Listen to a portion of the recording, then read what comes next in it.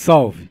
Você está no terceiro milênio e a cultura do terceiro milênio e a cultura racional contida no livro Universo em Desencanto. Nós vamos falar agora nesse programa, vamos definir o fluido racional. É isso aí. Então, é, hoje, todos que passaram a se conhecer, muitos vivem mais para o mundo racional.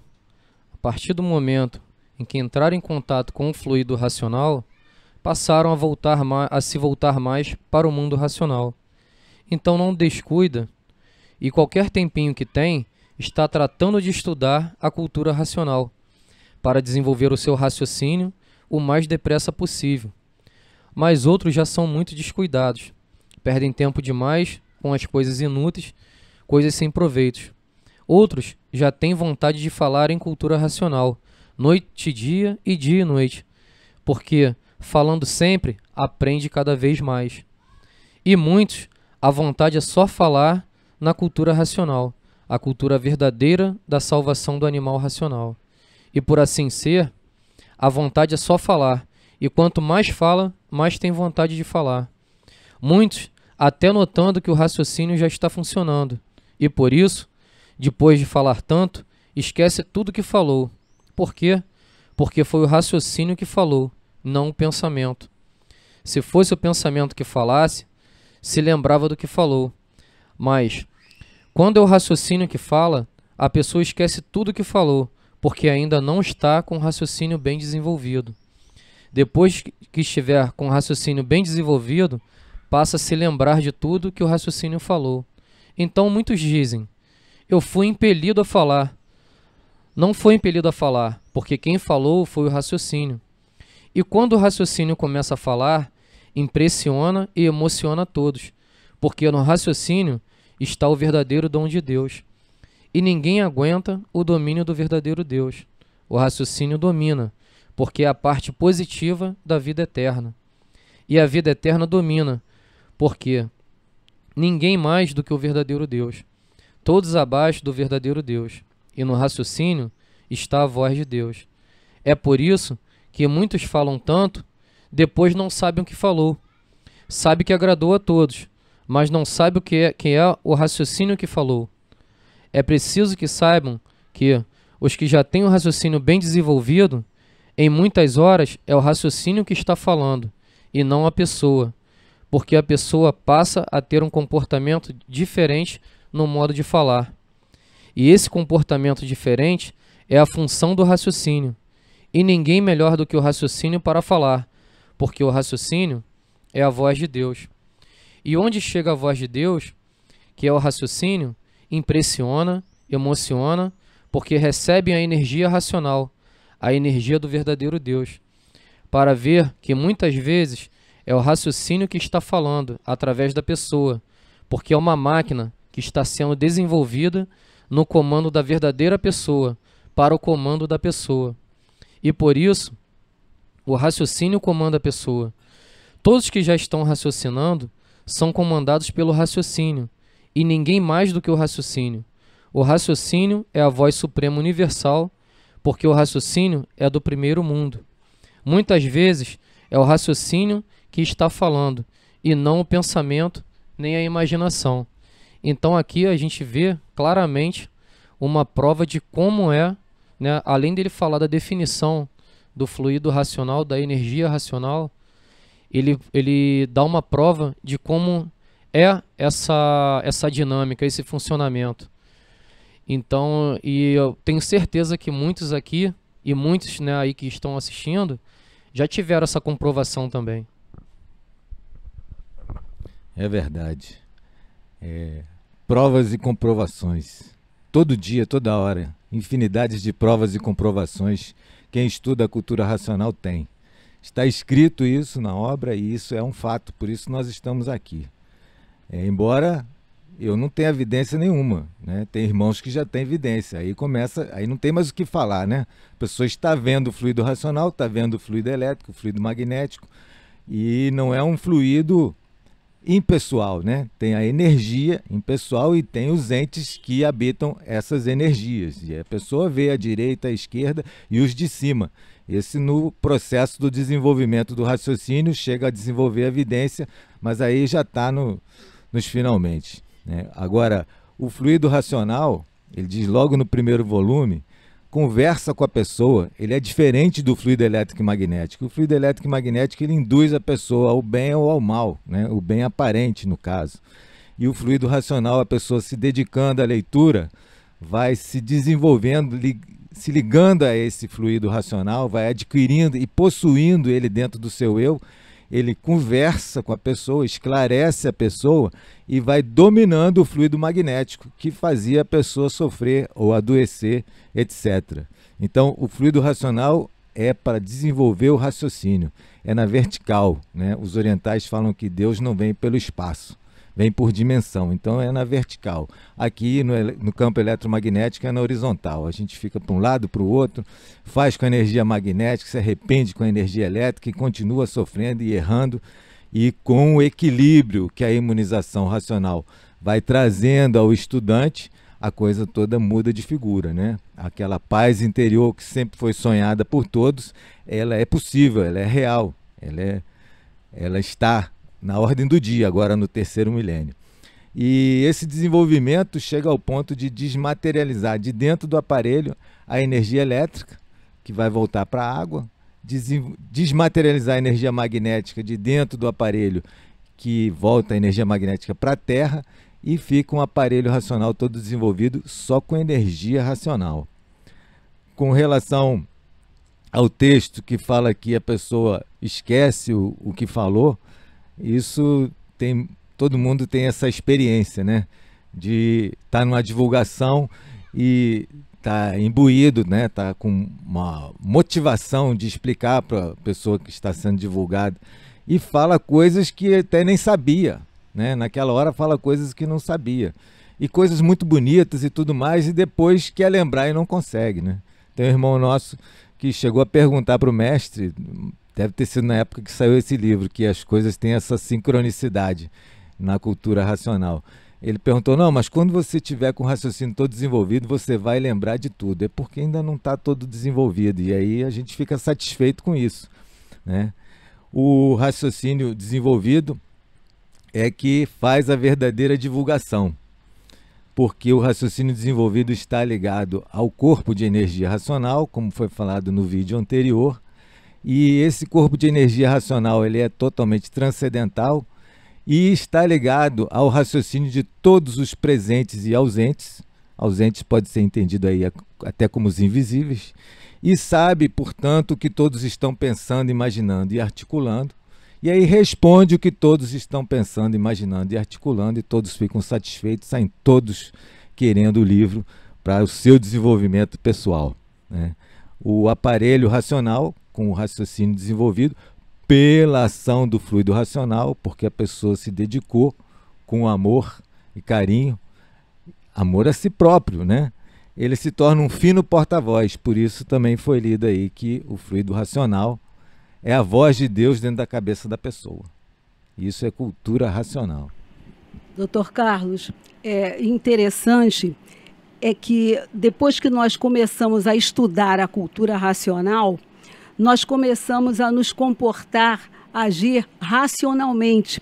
E através da, da leitura, do, dos estudos né, que, eu, que eu tenho feito, eu procurei saber o que é se comportar racionalmente. Né?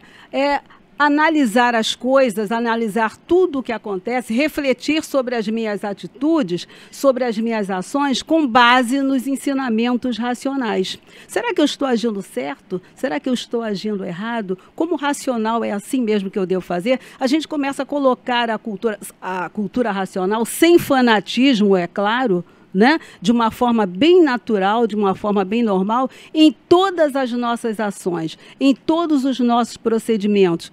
E outra coisa interessante que o racional superior fala em várias mensagens, é, o estudante de cultura racional ele deve ter acima de tudo obediência, persistência paciência, né? E eu acrescento também a humildade, porque tem muita gente, eu já ouvi, já ouvi muitos, muitas pessoas que receberam o livro de presente, ou que começaram a estudar o livro, mas eu estou lendo esse livro já tem tantas semanas, tantos meses, eu quero ver a luz, eu quero ver isso, eu quero ver aquilo. Não, não é assim.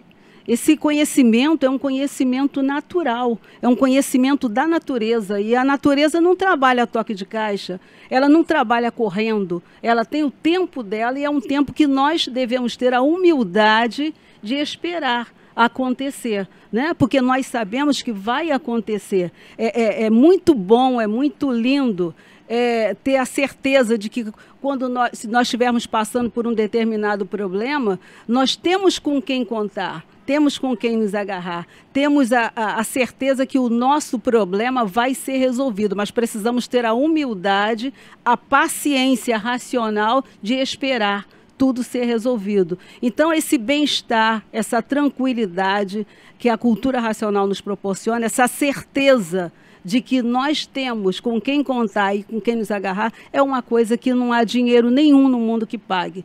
E só o desenvolvimento do raciocínio, só a nossa ligação com o nosso verdadeiro mundo de origem pode nos proporcionar isso. Doutor Cláudio. É, Nádia, é muito interessante isso que você falou. Hoje nós temos com quem contar e onde nos agarrar. E o Racional Superior fala isso no 13º volume da obra. Ele diz assim, agora, hoje, todos têm com quem contar com os habitantes do seu verdadeiro mundo de origem, com os habitantes do mundo racional, os racionais puros, limpos e perfeitos. Hoje tem com quem contar e onde se agarrar, porque receberão todas as orientações precisas para o seu equilíbrio racional. Mas como estavam vivendo, não tinham com quem contar. E estava aí todos chegando num ponto tal de salve-se quem puder todos sem garantia, por não terem com quem contar e onde se agarrar. E por isso, todos sofrendo, todos penando e tudo de mal a pior. Todos de mal a pior, porque nunca tiveram com quem contar e onde se agarrar. Se tivesse, não sofriam, se tivesse, não eram vítimas de injustiças, monstruosidades, desastres, enfim, de tudo quanto é de ruim. Agora, hoje, nós temos com quem contar com os habitantes do seu verdadeiro, nosso verdadeiro mundo, não, né, Oswaldo? O mundo racional, o verdadeiro Salvador, o racional superior. É, só para dar mais uma, uma, conclusão aqui também, uma, acrescentar, é, já foi explicado a mim também, e eu né, com o tempo passei a ter essa percepção, né, se eu tiver até equivocado que dei um complemento aqui, que quando a gente é, fala da, na, no conhecimento da cultura racional, é, a energia racional se faz presente. Né? E a energia, quando a gente fala, é num sentido amplo, porque na verdade são o quê? São habitantes. Vem forças, se fazem presente porque o conhecimento aqui é deles. Né? Esse conhecimento não é nosso, é deles para a gente, né? para evoluir para nós conseguirmos nos recompormos ao mesmo estado que eles estão, que é o natural. Então, quando se fala da energia racional, se é, com, com a boa vontade, com, com o interesse principal de, de transmitir esse conhecimento, eles se fazem presente. Então, é, e, e, no, e no próprio conhecimento é dito que nós somos nada mais além do que aparelhos. E quem transmite é a estação. Então, a estação só transmite, né? O que ela quer. Então, agora, a, a, a intenção, a, o intuito né, e, e, o, e o sentimento de solidariedade, né, que é transmitir esse conhecimento para que aqueles que ainda não se conheceram possam se conhecer, é, o benefício ele até diz que é maior para a gente porque a forma como eles vêm e transmitem, né, que a gente muitas das vezes fala alguma coisa que depois fala assim, caramba, por que, que eu falei aquilo ali? Nem eu sei se o que eu estava falando era o certo. Mas depois vem as comprovações no dia a dia, que aí vai dizer se aquilo que você falou lá atrás estava certo ou não, porque vem uma prova através de um acerto que aquilo ali que você falou era o certo, que na, naquele momento muitas das vezes nem foi você que falou, você foi só um aparelho de propagação, né, da, da, da transmissão ali do conhecimento. Então isso acontece muito. Complementando rapidamente, a professora Nádia chegou a colocar do comportamento racional, o comportamento de quem está se desenvolvendo racionalmente, quem está estudando o conhecimento de cultura racional, que está desenvolvendo o raciocínio. E no quarto da tréplica, ele diz várias qualidades de quem está realmente se desenvolvendo racionalmente. Eu guardo sempre que ele diz textualmente que é bem quisto por todo mundo, porque o fluido racional fica na nossa aura e as pessoas têm simpatia, empatia e as coisas vão fluindo naturalmente, né? E ele fala principalmente que tem o jogo da matéria e o jogo da vida. Quem é racional conhece o jogo da matéria e o materialista também conhece o jogo da matéria. Então ele faz tudo pela matéria, até faz mal aos outros, etc. Mas não conhece o jogo da vida. E quem é racional conhece também o jogo da vida, que inclui, como o irmão acabou de falar aqui, a parte invisível, os entes que participam do social da humanidade, embora invisíveis, né? O artifício nega a existência deles, mas é um fato real e o conhecimento racional nos faz vê-los sem evidência ainda, vê-los mentalmente. Isso é desenvolvimento do raciocínio. Por último, se torna um fino porta-voz, mas é um autêntico representante do mundo racional. Por quê? Porque a pessoa passa a ter retidão, passa a ser uma coisa só, por dentro e por fora. O que ela fala é o que ela pensa, o que ela faz é o que ela falou.